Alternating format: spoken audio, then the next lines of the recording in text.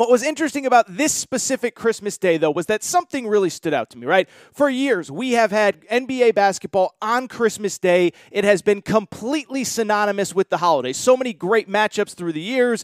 Uh, you know, LeBron versus Kobe, Miami versus the Lakers, Shaq versus Kobe when Shaq left LA.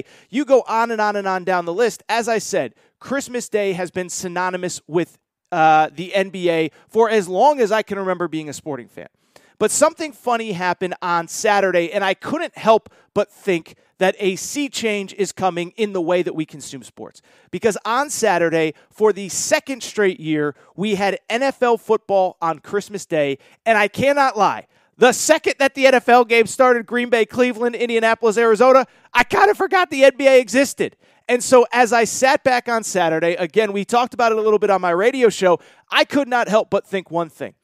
Is the NFL about to kill NBA basketball on Christmas Day? Is Christmas basketball about to go to the way of the dodo bird with the 30,000 pound monster Godzilla, the NFL squashing it into oblivion? And it sounds crazy. It sounds like it'll never happen. But I do think there is a little something to this idea. And I think you guys, as sporting fans, I think you guys are probably a pretty good reflection of this because I bet a lot of you, much like me, once the NFL started, you kind of forgot the NBA even existed. And so let's backtrack, let's peel back the layers, and let me say a couple things about this past Christmas, two days ago, Saturday, December 25th, 2021, and what, uh, you know, the sports calendar that happened, right? First of all, I don't want to get too overly dramatic too early. Uh, and as critical as I've been of the NBA on a lot of things through the years, the one thing I will say straight up, uh, they had some stuff working against them on Saturday, right? Some of the biggest stars on some of these teams were out. Kevin Durant did not play for the Brooklyn Nets. The Atlanta Hawks were down nine guys, I believe, including Trae Young. Giannis was actually in protocols right up until Christmas Day, so we didn't get the best version of Giannis. Luka Doncic is out because of COVID. And so the NBA was certainly working at a major disadvantage not having many of its marquee players in the games that were supposed to be on on Saturday.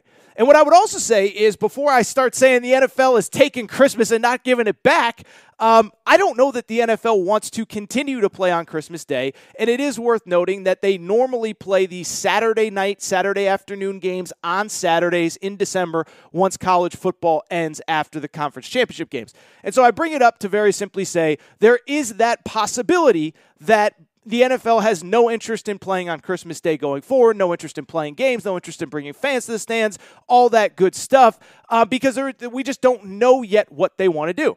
But as I said, this is now the second year in a row that the NFL has played on Christmas Day. And I think you kind of have to go back to last year to see how this all started, to see the success that it had, and to see why we might be getting NFL football on Christmas Day going forward. And I think it's really interesting. And you guys know I love sports. I, I, I love the behind the scenes stuff in sports, how stuff comes together, how it works, what works, what doesn't, all that good stuff. And if you go back to last year, we had Saints Vikings on Christmas Day. But the reason we had Saints Vikings on Christmas Day was really interesting. It was because of the fact that the NBA, if you can go back 12, 13 months, was not sure when their actual 2020 2021 season was going to start. They had the bubble in the summer of 2020 to finish their season during the, the early part of the pandemic. The season ends in like early to mid September, if I remember correctly. And once the season ends, the NBA can't even decide when they're going to start the next season coming off of the bubble season in late 2020.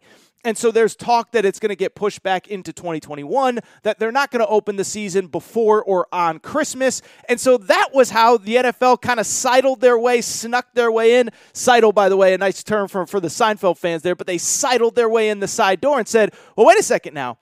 NBA, if you're not positive you're going to start on Christmas Day, then you know what?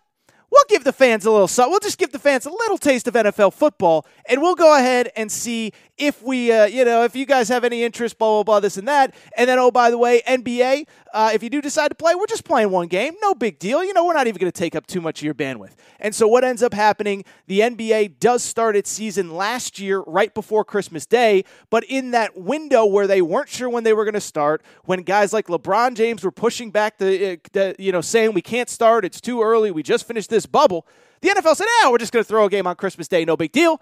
You know what happened? And I looked this up before my radio show on Saturday just con- to confirm. The game that was on Christmas Day last year in the NFL did insane numbers. Overall, 20 million viewers watched Viking Saints on Christmas Day last year. 20 million viewers. For comparison's sake, for comparison's sake, the NBA Finals last year, Game Six, Bucks Suns, peaked at at 16 million and did across the board about 12 million consistently viewers. Game Six NBA Finals. So, in other words, at its peak, the highest rated NBA game of last season didn't even come close to getting the number that a Christmas Day game did in the NFL. And this isn't to necessarily at this particular moment compare NBA versus NFL, but I do think the NFL kind of smelt some blood in the water. And I do think the NFL was kind of like, well, wait a second now. We got all these people on Christmas Day. And oh, by the way, remember last year there was NBA basketball on Christmas Day. And I think the NFL kind of said, well, wait a second now. We already have Thanksgiving. We already have a lot of other windows and wiggle room and all this and stuff. But why can't we put games on Christmas Day? And so maybe it was a total coincidence that we had two games on Christmas Day this year, uh, and maybe it was only because the it fell on a Saturday, and there's usually Saturday games in December. But I do wonder if this if this is the plan of the NFL going forward, and I do wonder what it means for the NBA because, like I said a minute ago, I don't ever remember the NBA feeling less relevant on Christmas Day than it did this year, 2021. And I even go back to probably the marquee game of Christmas Day uh, was supposed to be Lakers Nets, but you know Kevin Durant was out, Anthony Davis is hurt, whatever. But the marquee game ended up being Phoenix against Golden State which ended at the exact same time as Green Bay Cleveland. And it kind of felt like everybody was watching Green Bay Cleveland. Nobody was paying attention to the NBA. And I kind of do wonder if the NFL smells blood in the water. And I will say, in the bigger picture, and we'll get to some college football in a minute. Um, you know, I think this is kind of a metaphor for, for both of these leagues, right? And what I do think is important to note, we will find out in the coming days if I am right on this, if the NFL just squashed the NBA on Christmas Day. Uh, maybe that'll be part of where Aaron was right, where Aaron was wrong on Thursday's show, because I do think we'll, we'll find out pretty soon if the NBA, you know, maybe rated a little bit better than we thought, if the NFL rated a little bit worse, or did the NFL completely squash the NBA? But I do think this is kind of a metaphor for both leagues, right? Um, you know, Roger Goodell is nothing but a national media punching bag, but it seems like everything the NFL touches turns to gold. And Adam Silver can do no wrong in the media's eyes, and the NBA is a complete disaster from a, a business and, and growth and everything standpoint. And so I do think it's interesting, right? Because, uh, you know, I've talked about this for years on this show. Like, everybody loves to crush Roger Goodell. But the bottom line is like like Every, like like everything the NFL touches, as I said a minute ago, turns to gold. Every decision that he makes, uh, you know, works out well for the league. And part of it is I understand people love the NFL. Part of it is I understand that there's now more betting than there's ever been. Part of it is I understand that there's fantasy. But I bring it up to say, for all the criticism that Roger Goodell gets, it seems like everything he does works out well. Just think about it. Just think about it. Think back about what, six, seven years when they first implemented the full time Thursday night schedule. Um, and and I, you know, some of you might not remember, but it was a very controversial thing at the time. It used to be kind of like what we have on Saturday right now, where there was a couple Thursday night games at the end of the year. It was kind of something different. It was kind of quirky. It was kind of weird. And then one year we just decided, you know what? We're going to 16. We're, we're going to 16 weeks of Thursday night football, and everybody freaked out, and the players, and this and that, and then they got over it, and then it was just part of the deal, and then we moved on. Same with the playoffs last year. Remember the playoffs last year? We're going to add an extra wild card game. Oh my goodness, why are we messing up the symmetry of wild card weekend, of this weekend, of that weekend? And then we got an extra playoff game on Saturday, and we got an extra playoff game on Sunday that first weekend. And all of a sudden we were like, this is awesome. This is great. Let's do more of this. By the way, 17 game, 17 week regular season this year. We'll see what the ripple effects or the side effects of it are, but I tend to believe that people are going to love it. You go across the board beyond just the games and the playoffs and the Thursday night games. Don't forget, uh, you know, when the Rams left St. Louis for the uh, for Los Angeles, it was incredibly unpopular at the time. And now I looked it up this morning. The Rams valuation of its uh, of its uh, franchise is well over four million dollars. The Raiders moving to Vegas, on and on and on and on and on. And so I just bring this up because for all the criticism that the NFL gets, it seems like everything that they do works out well. Thursday night football worked out.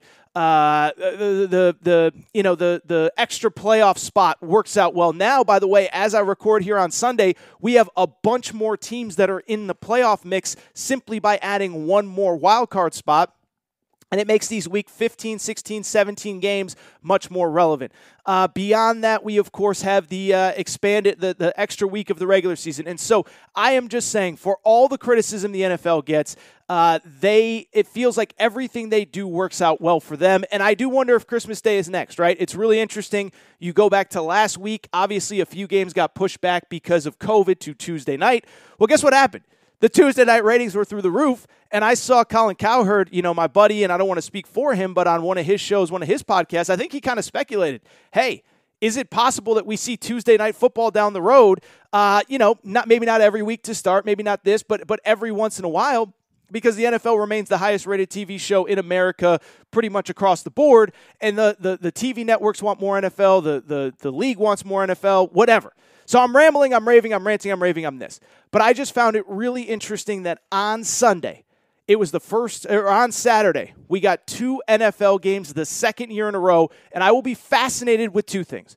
One, I will be fascinated to see what the TV ratings are for the NFL.